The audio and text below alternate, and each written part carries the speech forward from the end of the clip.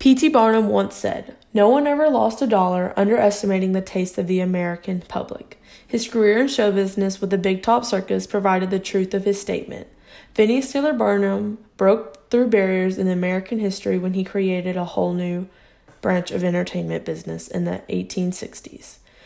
Throughout his life, he made strides in America's entertainment business by taking the circus into mainstream entertainment. He employed what he called his great wonders of the world by creating the Big Top Circus, or what he called the greatest show on earth. Phineas Taylor Barnum broke barriers in the entertainment industry by starting the P.T. Barnum Circus which did more than popularize circus entertainment and mainstream entertainment and culture than any other show or event in the mid 19th century. P.T. Barnum was born on July 5, 1810. At an early age of 12, his business personality was already starting to show. He sold cherry rum and snacks to classmates to make extra money. He did this until he took over his father's business. He worked at his father's store. This was not Barnum's true passion in life but while owning the store, he met his wife, Nancy Fish.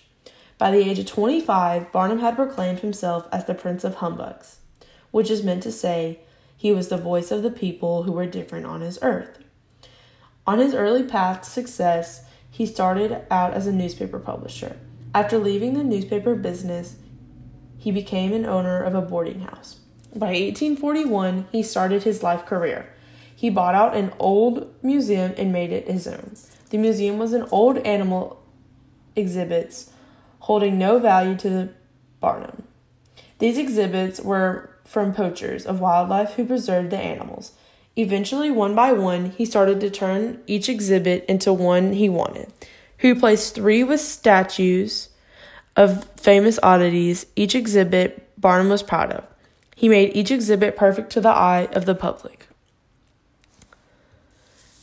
The museum he created housed over 85,000 exhibits. He was proud to call his own. Barnum's Museum started out as an extremely small business which famously burned once. But Barnum's later rebuilt nearby. This museum was something he loved and a moment of pride for him, even though it was not fully completed until after his death. Although he had the museum that the that he loved, he was most proud of what his of his circus. P.T. Barnum is credited for creating the American circus. His circus started out a stationary establishment where people from everywhere came to see P.T. Barnum's famous show. Acts like Jojo the dog faced boy and General Tom Thumb were showcased within his circus. Because of his passion and love of the circus, P.T. Barnum began a trend for advertising and exaggerated publicity. With his passion of, for adverti- advertising, his beloved circus, the famous show became extremely popular worldwide. It became so popular that P.T. Barnum and his traveling circus were invited to Europe to meet the Queen of England. Barnum was ecstatic and how about how popular his exhibits were getting, and soon he began looking for new additions to his show. One of his later addictions was the bearded lady who astonished most crowds. But eventually he grew tired of museum and started working with Jenny Lind, a famous opera singer. The American people had never seen the oddities of the world. He made his circus one of the most profitable industries in the entertainment business. The industries would bring profit to the business for years to come. Barnum insisted his whole life that all of the money could be made from the public. Barnum once said, Money is good for nothing unless you know the value of it from experience. He stuck by that until death. He also had some minor accomplishments throughout his career. Barnum popularized the opera in the United States with the help from Jenny Lind, who was an opera singer from Europe. He later published his accomplishments, such as The Life of P.T. Barnum, which he told of his story. In his book, he stated, Whatever you do, do it with all your might. Work at it, if necessary, early and late, in season and out of season, not leaving a stone unturned, and never deferring for a single hour that which can be done such as well now. The old proverb is full of truth and meaning. Whatever is worth doing at all is worth doing well. Many a man acquires a fortune by doing his business through while his neighborhood remains poor for life because he only half does it. Ambitions, energy, industry, perseverance are indispensable requisites for success in business.